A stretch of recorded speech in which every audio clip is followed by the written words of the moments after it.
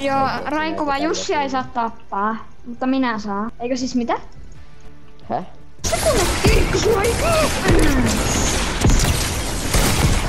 Onko, onko tää Fortnite vähän aggressiivinen peli?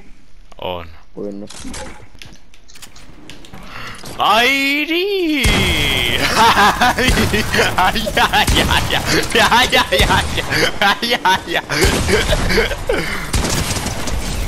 Et hoidit oikeesti huonoja, mutta ja Raikuva ei saa tietää siinä ikinä. Mitä vittu? Siitä sait kuule. Oikeesti. Mä, Joo. tässä on rauhan kunniaksi. Missä sä Jonne asut? Mitä? Et kun alataan joku... Missä sä asut? Mitä hemmettiä? Kun mä unohdin. No samassa paikassa, missä Raikuva hippa. No, mutta kun mä nyt unohdin, niin sit oli tää asuin. Mä unohdin Raikuvan. Mä en saa unohtaa. Raikuva kunta. Mä menen tästä autosta pois. Ah, siellä. Ei. Nope. Nope. Mikä tuuri? Missäkin kotis? Et saa ikinä kingi. Drifter kingi. Au. Tiedätkö mitä? Hei No. hei. Mun pitää lopettaa. Hei hei. Muuten tulin nyt.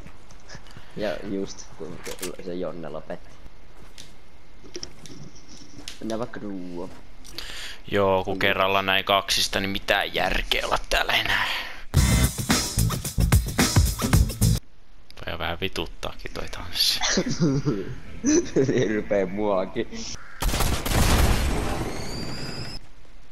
Siis ammutko tota botteja? No en.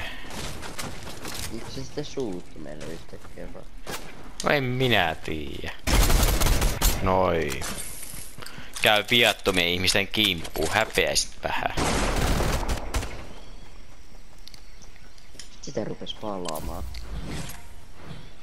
Minkä ihme. Ja kun tää on tää haulikko tämä, tämä nyt tästä, josta lonkii kaikkea. Niin se rupee palaamaan. Kun mä ammuin tällä haulikolla tähän.